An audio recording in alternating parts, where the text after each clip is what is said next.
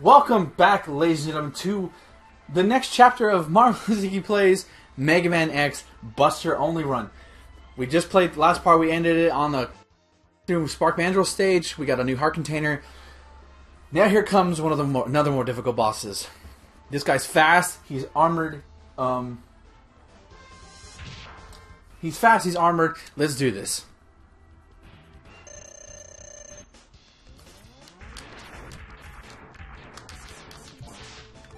Right, one, two, three, and then sploosh. One, two, three.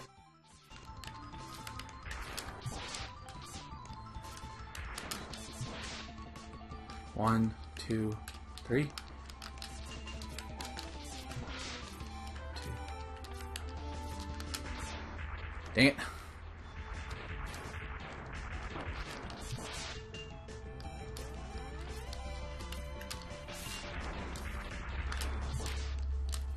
Doing pretty good. Well, not really.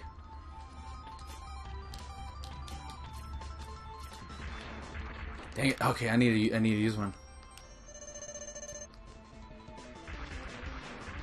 Oh, that's not good. Oh wow, I'm already at 50%.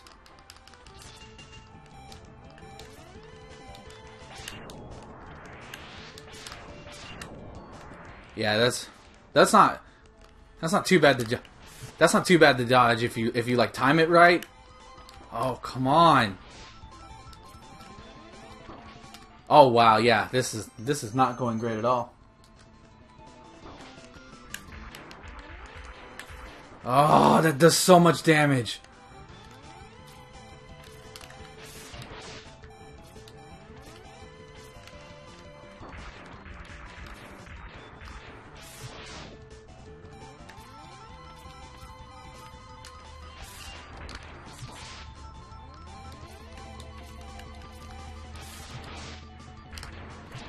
Got him down to 50%. There we go.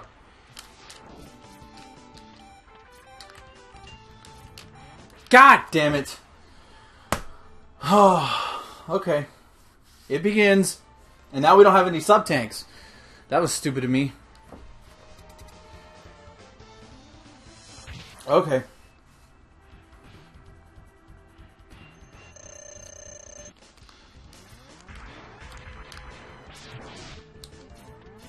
Oh, why did I do that?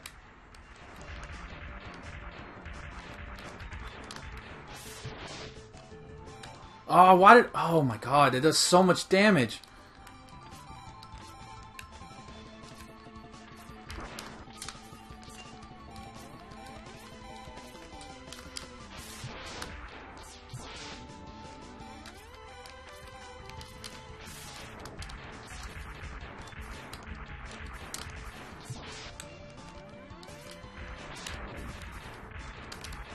Oh, get away from me.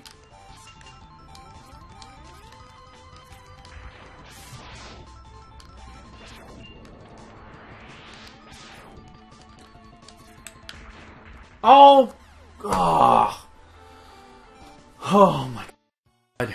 Oh, I pressed start. All right, we have three full tanks. Here we go.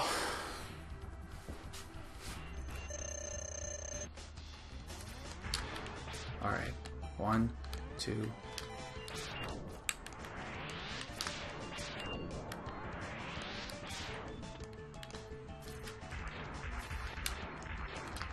There we go. Right when he comes out of the roll, hit him with a blast. Even if... Or right when he's going into one. There we go.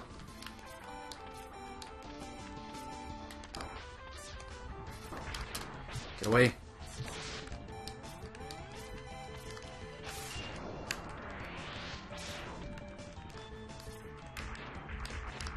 There we go. Alright, use one.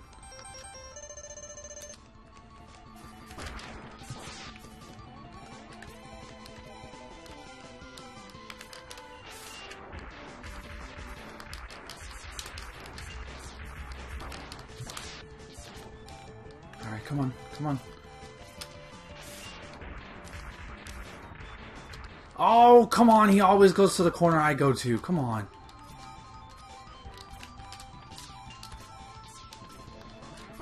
Oh my god, this is ridiculous. And then I can't I can't I can't Come on, go in your hole. Why do, oh, just standing there.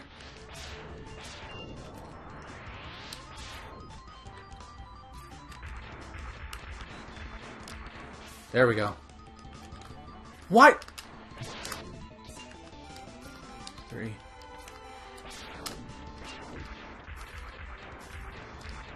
Oh my G Jesus Christ! I can't hurt this guy. I am just I just cannot hurt this guy. Like he's the most difficult because he's the most difficult because you it's so difficult to even get chip damage because he blocks everything. Like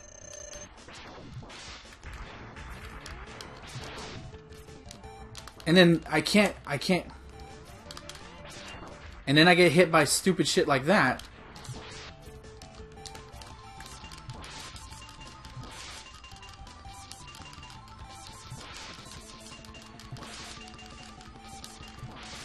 Hold on. I think we might be onto something here.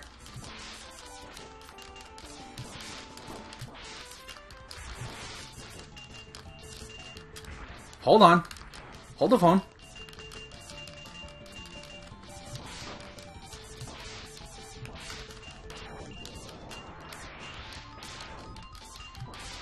Hold on.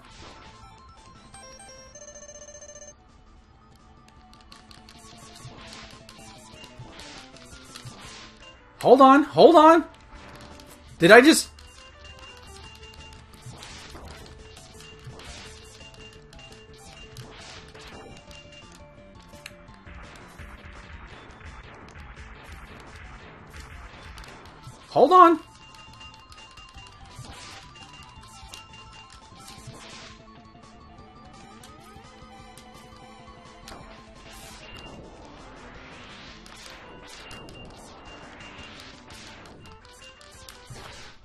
Booyah! I oh wow! I did not know you could do that. I basically kept pushing him back into a corner where eventually, anytime he tried to open up, oh my god, yes! Holy crap! This is the first time I've ever busted only him. Oh my god. Haha. well, ladies and gentlemen, that's gonna do it. Uh, well, no, no, because I keep forgetting the timer's gonna be different because you're only gonna see that one take on YouTube. So we're gonna keep going. We're gonna go after another we're gonna we're gonna start another level. Holy crap! All right, so now we have um, Launch Octopus, Sting Chameleon, and Boomerang. Out of the three remaining, Launch Octopus might be the easiest because I know his pattern. He's difficult on that only if you get he can recover health, and there's missiles everywhere. Boomerang likes to teleport. Sting Chameleon is just a pain in the ass. This one has the body upgrade though, so we're gonna go be we're gonna be Mavericks I mean, not be Mavericks because you don't want to be Mavericks in this game. We're gonna go after Sting Chameleon. Again, we're gonna play through the stage and then then I'm gonna call it an episode and then we're gonna try for Sting Chameleon. I probably should have gone to, back to Armadillos and gotten more heart tanks, but if it fails, we'll just do that next time. This one, I this is a theme I do like. Like this is a, this is one of the cooler themes. It doesn't come to mind um to my mind up to my mind. Oh, I can't talk right now. it doesn't come to my mind as frequently as say other stages do, but I definitely once I'm in the stage, I'll definitely be like, oh yeah. All right. So what you want to do is to get to get uh, a heart piece because we're gonna need that for this fight. Oh, we can't get this one yet. Never mind. We have to come back here later. I knew I should have gone after Launch Octopus. Okay. So, we're going to have to come back here later, uh, or we have to come back here later. So come up here, and we'll get, this is where you get the final piece of armor. Now this is where people speculate. Like this is like if you look at this robot that's about to power on screen right there, it doesn't look like a robot of this time period. It looks like it looks like a like a robot from the classic series if you look at it. So like this is your it looks like a robot from the classic series, and he hurts. Actually, that's not too bad. Uh, I whenever I fight him normally, I usually use uh, Storm Tornado. Storm Tornado is basically broken in this game. If you're ever wondering, like, and there's no health bar on this guy. Uh, you'll start noticing as he uh, starts getting weaker in power, uh, he'll start steaming. Like, uh, like smoke will. Oh, that hurts. It's like scorpion.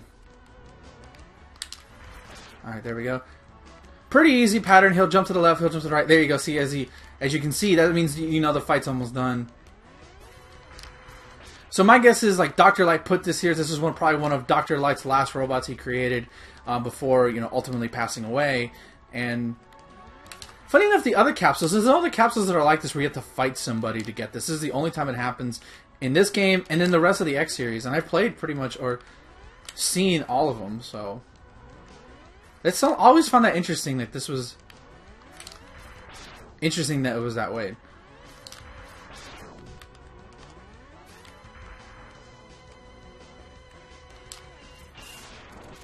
There we go. So I know some some fans theory that this might be Auto from who debuted in Mega Man Seven. Uh, so there's there. Uh, like so, I don't think it's Auto repurposed. I kind of hope not. That'd be very, like this is what ultimately came to be.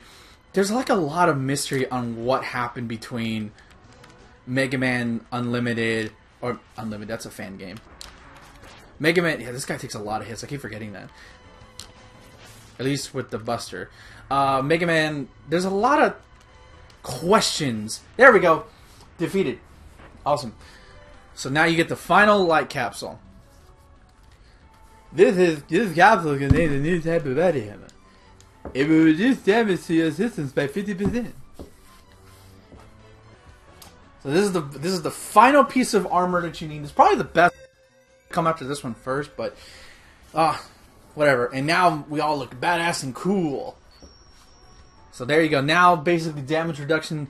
Uh, it probably would have made those last couple of fights a lot easier. But it, you know, whatever. We beat them. That's all that matters.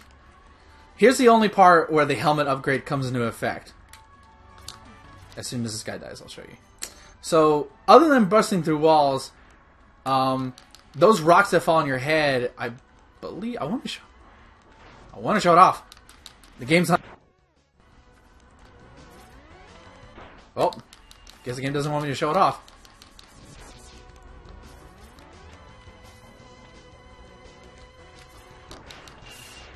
I don't remember them turning on the enemies this time. Oh well.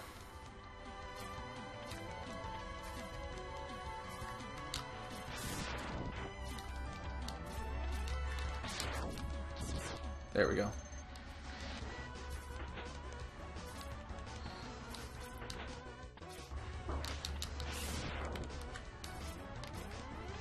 And we got a health back. Awesome. I really like this level, though, from a design standpoint. It actually really reminds me of... Uh... Oh, we got more run armor. It reminds me of the opening level for Rise, uh, Rising Stars. Not Rising Stars. It's a comic book. Um, Sunset Riders? No, it was for the Sega Genesis. I was playing it. I was literally just playing it. Gunstar Heroes. This opening level, this level reminds me of that game's opening level. Uh, it's like forest, and you know, it's your basically your your traditional opening stage. There we go. Also, it reminds me of a level another from another Genesis game. Uh, like I think it was the X Men one. There's another jungle one. It looks very similar. Like I know it's all jungles in the 16-bit era, but like the Sega Genesis and Super Nintendo look different enough where you can tell, okay, that's a Genesis game, that's a Super Nintendo game, you know. So it just reminds me of that, like with the big tree trunks and all the all the machinery. All right, ladies and gentlemen, for YouTube, thank you for watching. As always, please like, comment, subscribe. Thank you for watching my first ever uh, Buster attempt, Buster kill of Armored Armadillo, as I basically just bullied the AI into doing what I wanted it to do. So until next time, all you